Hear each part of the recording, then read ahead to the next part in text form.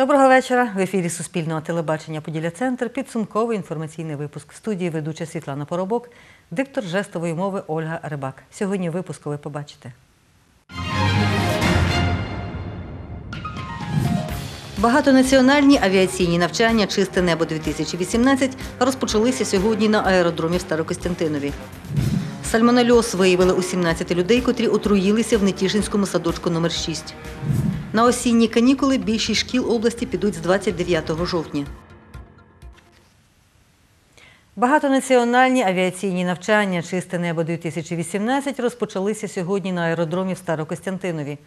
За словами заступника командувача повітряних сил з авіації Андрія Ярецького, від сьогодні і до 19 жовтня військові здійсняють тут 350 вильотів.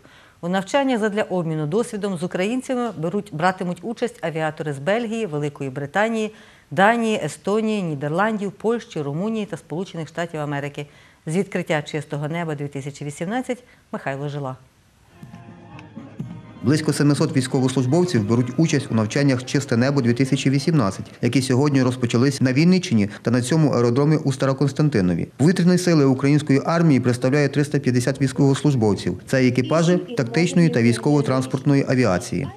Проведення багатонаціонального навчання Чисте небо 2018 дасть змогу підвищити рівень взаємосумісності, управління діями авіації, льотних екіпажів, інженерно-технічного складу, фахівців логістики, зв'язку, пошуково-рятувального забезпечення, навчання сприятиме зміцненню регіональної безпеки та військового співробітництва, що на сьогодні є актуальним та допоможе протистояти агресивній політиці Російської Федерації. Участь у навчаннях беруть 350 військових з країн НАТО. Командувач військово-повітряних сил Національної гвардії штату Каліфорнія Клей Гаррісон каже, авіатори зі Сполучених Штатів перейматимуть досвід українських льотчиків. Я звичайно навчився в них багато чому, е, тому що ем, е, різні різні ВПС різних країн світу вони різні.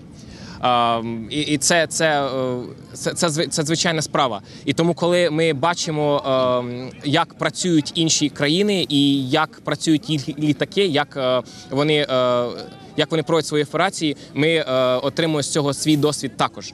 За словами заступника головного штурмана авіації командування повітряних сил Збройних сил України Геннадія Шелудько, крім українських літаків Су-27, у навчаннях братимуть участь американські F-15, котрі напередодні прибули на Староконстантинівський військовий аеродром.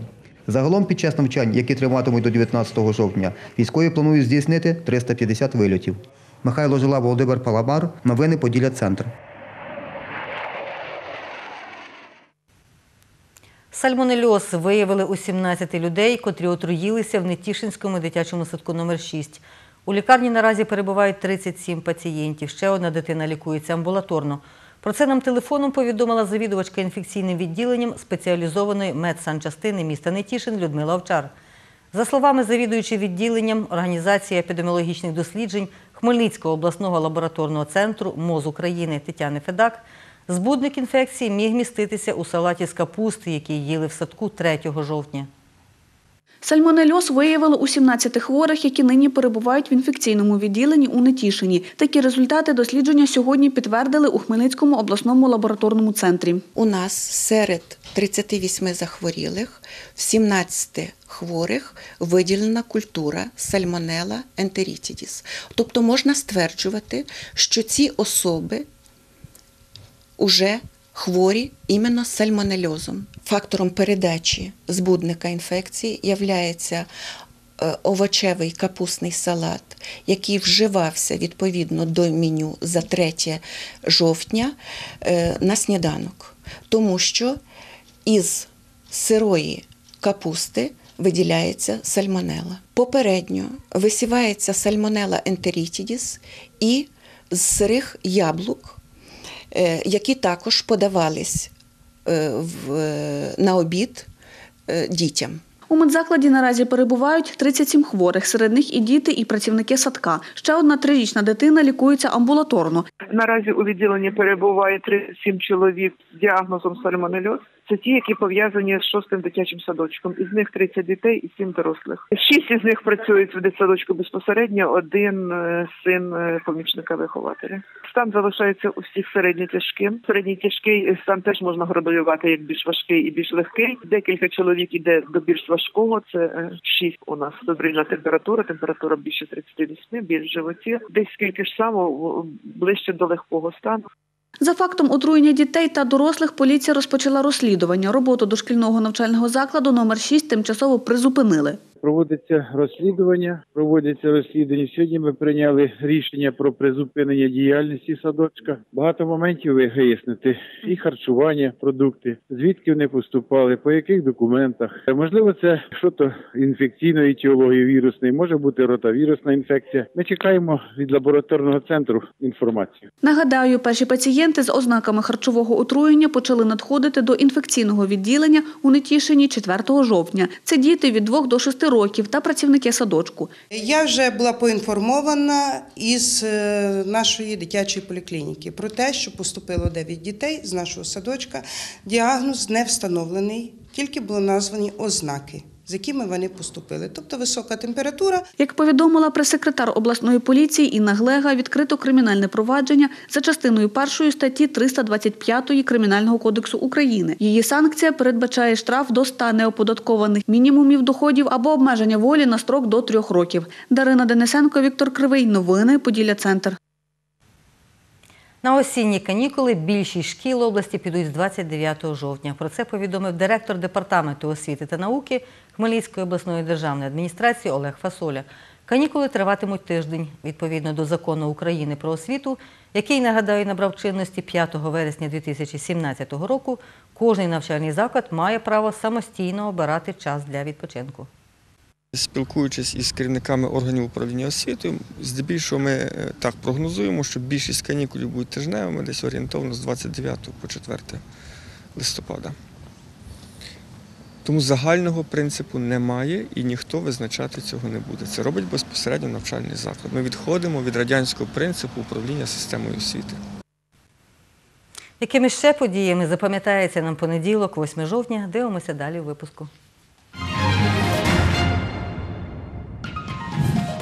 Фотокопію указу султана Махмета IV, фірман 17 століття, вдруге направляють турецьким лінгвістам для перекладу працівники Кам'янець-Подільського державного історичного музею-заповідника. 18 хмельницьких кікбоксерів здобули головну нагороду Кубку України у версії ВАКО в Черкасах. Дві команди до призовників області з Хмельницького та Старокостянтинова змагалися на щорічному зборі серед військово-патріотичних клубів і об'єднань майбутнє України. Досі невідома офіційна причина пожежі, яка сталася в Хмельницькій школі номер 1 Досудове розслідування триває, повідомила старший інспектор Хмельницького відділу поліції Людмила Берестовська. За її словами, у матеріалах справи є акт про причину пожежі. Це коротке замикання електромережі. Наразі четвертий поверх приміщення Хмельницької школи, де розташований спортзал, перекрито. Коли відремонтують приміщення, дізнавалася Ірина Аріон.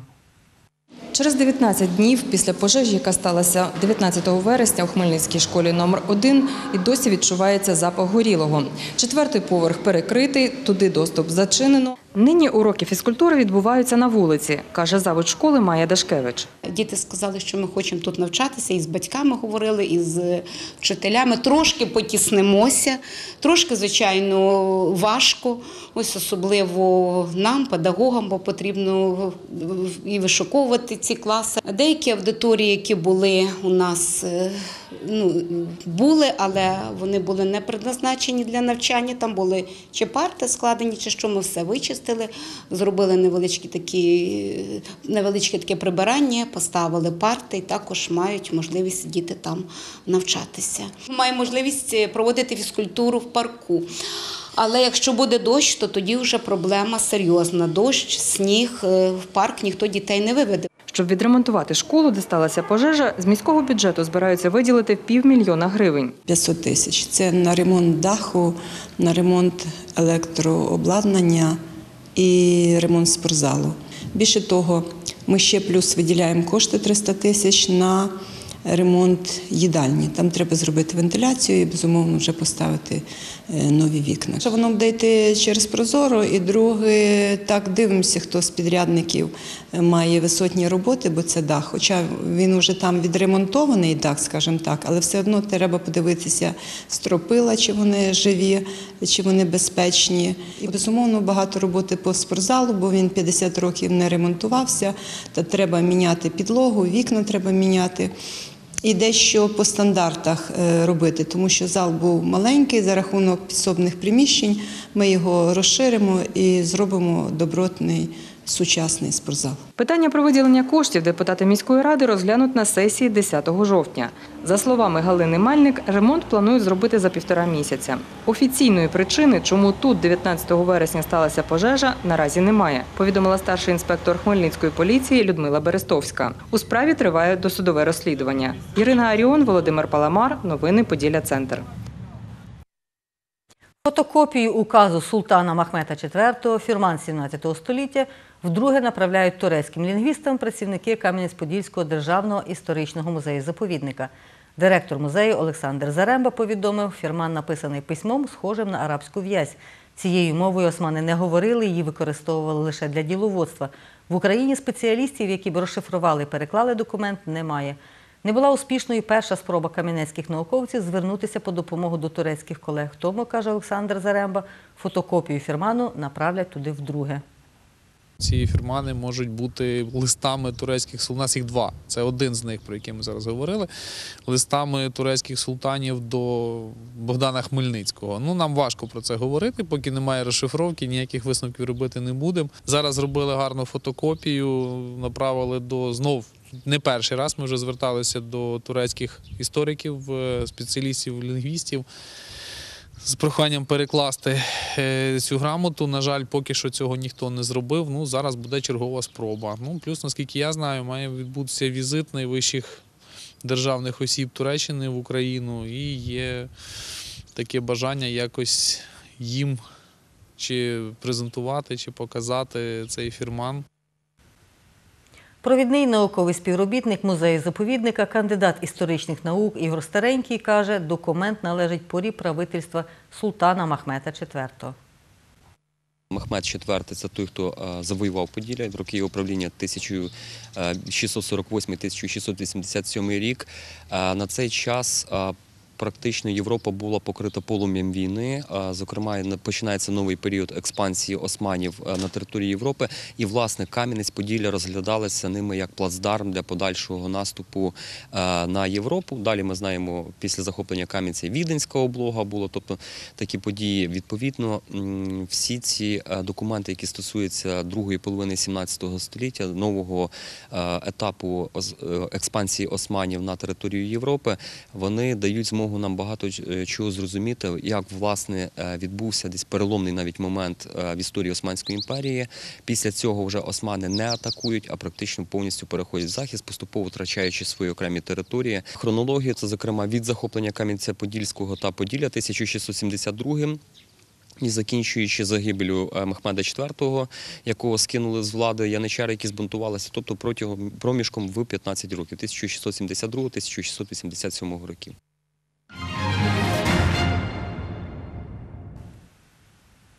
Команда авіамоделістів Хмельницького обласного палацу творчості дітей та юнацтва здобула золото етапу Кубку світу з авіамодельного спорту та Кубку Харкова, де відбувалися змагання з перегонів кордових моделей літаків. Хмельницький гоночний екіпаж, пілот Андрій Міровіцький та механік Володимир Гвоздіков, повідомляє керівник авіамодельного гуртка Геннадій Соколов, виконали нормативи кандидатів у майстри спорту України та увійшли до складу збірної України з авіамодельного спорту і готуватиметься до чемпіонату Європи. Ці змагання відбудуться наступного року у Болгарії.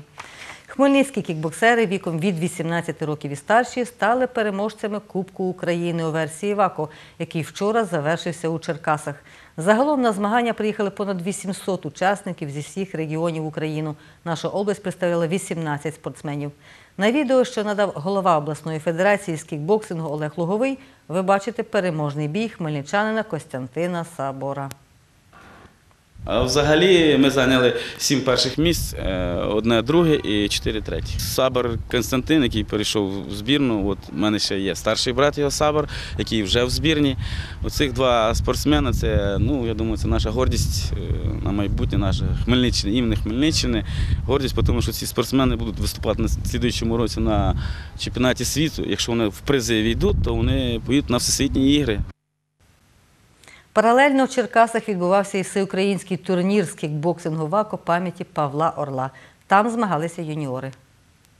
Е, Ми більшість все-таки представляли е, дітей. У нас було е, дітей е, 12 дітей з Хмельницького і два спортсмени дорослих було. У нас вже така категорія дітей, яких вже не треба заставляти, якби там тренуватися задоволені, тому що вони тренуються по два рази в день. Якби спортсмени такі, що вже без цього жити не можуть. 20 спортсменів нашої області з Хмельницького та Старокостянтинова змагалися на щорічному зборі до призовної молоді серед військово-патріотичних клубів і об'єднань майбутнє України.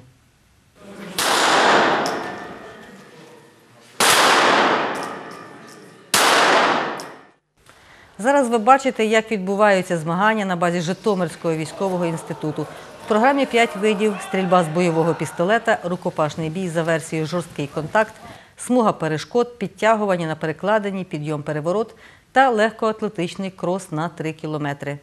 Тренер з рукопашного бою Хмельницької підготовчо-міліцейської спортивної школи Самсон Право Гаррі Осідлевич повідомив, вихованці школи найкраще показали себе в рукопаші, де здобули 11 медалей – золоту, 7 срібних і 3 бронзових. Наши детки занимаются в основном только рукопашным боем, поэтому Наші діти в основному займаються рукопашним боєм, тому ми в рукопаші посіли перше командне місце. Ці кубки за перше командне місце з рукопашного бою, за третє командне місце в стрільбі, де Андрій Мельник набрав найбільше балів серед усіх учасників 45, і став переможцем. А також кубки за третє місця в кросі, смузі перешкод та підтягуванні. кроссу, третье место по полосе препятствия. За словами Гаррія Осідлевича, вперше в цих змаганнях брали участь дві команди Київського військового ліцею, які випередили хмельничан у чотирьох видах програми, та команда Старокостянтинова. Впервые выступала э, Вперше брала участь команда зі Старокостянтинова. Це була для них розвідка боєм. Їхнім учасникам 12-14 років. Вони молодші від решти, їм було важко боротися, але в рукопашному бою в них багато призових місць. Вони посіли третє командне місце. э, третье командное место. На цьому наш випуск завершено. Нам настав час сказати вам до побачення.